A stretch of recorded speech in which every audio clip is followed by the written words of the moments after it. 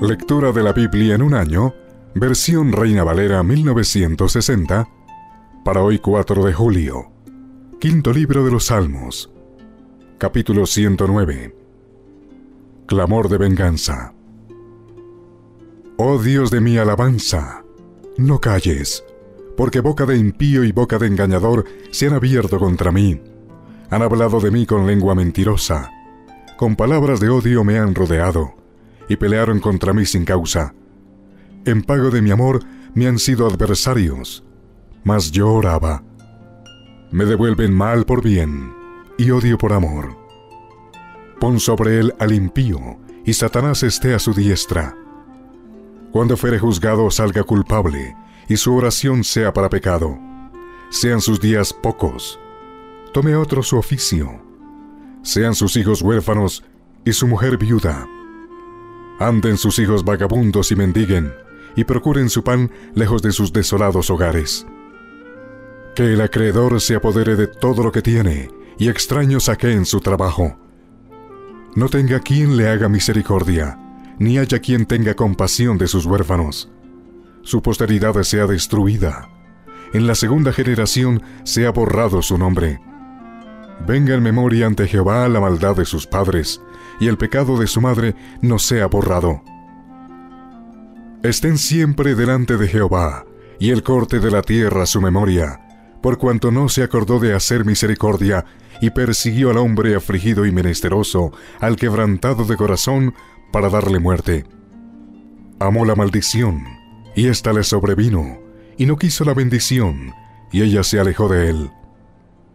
Se vistió de maldición como de su vestido y entró como agua en sus entrañas y como aceite en sus huesos. Séale como vestido con que se cubra y en lugar de cinto con que se ciña siempre. Sea este el pago de parte de Jehová a los que me calumnian y a los que hablan mal contra mi alma. Y tú, Jehová, Señor mío, favoréceme por amor de tu nombre. Líbrame, porque tu misericordia es buena porque yo estoy afligido y necesitado, y mi corazón está herido dentro de mí. Me voy como la sombra cuando declina, soy sacudido como langosta. Mis rodillas están debilitadas a causa del ayuno, y mi carne desfallece por falta de gordura. Yo he sido para ellos objeto de oprobio. Me miraban y burlándose meneaban su cabeza. Ayúdame, Jehová Dios mío, sálvame conforme a tu misericordia, y entiendan que esta es tu mano, que tú Jehová has hecho esto. Maldigan ellos, pero bendice tú. Levántese, mas sean avergonzados, y regocíjese tu siervo. Sean vestidos de ignominia los que me calumnian, sean cubiertos de confusión como con manto. Yo alabaré a Jehová en gran manera con mi boca, y en medio de muchos le alabaré porque Él se pondrá a la diestra del pobre para librar su alma de los que le juzgan. Salmo capítulo 110 Jehová da dominio al rey. Jehová dijo a mi Señor, Siéntate a mi diestra, hasta que ponga a tus enemigos por estrado de tus pies.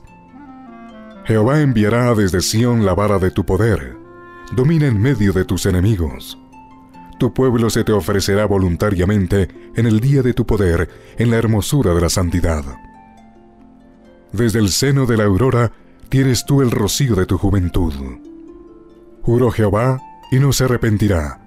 Tú eres sacerdote para siempre, según el orden de Melquisedec. El Señor está a tu diestra. Quebrantará a los reyes en el día de su ira. Juzgará entre las naciones, las llenará de cadáveres, quebrantará las cabezas en muchas tierras. Del arroyo beberá en el camino, por lo cual levantará la cabeza.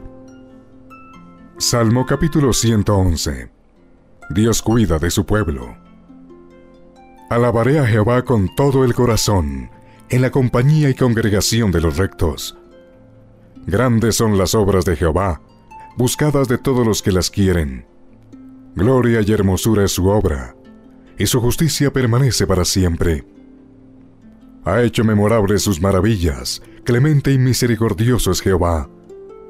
Ha dado alimento a los que le temen, para siempre se acordará de su pacto. El poder de sus obras manifestó a su pueblo, dándole la heredad de las naciones. Las obras de sus manos son verdad y juicio. Fieles son todos sus mandamientos, afirmados eternamente y para siempre, hechos en verdad y en rectitud. Redención ha enviado a su pueblo, para siempre ha ordenado su pacto. Santo y temible es su nombre. El principio de la sabiduría es el temor de Jehová. Buen entendimiento tienen todos los que practican sus mandamientos. Su loor permanece para siempre.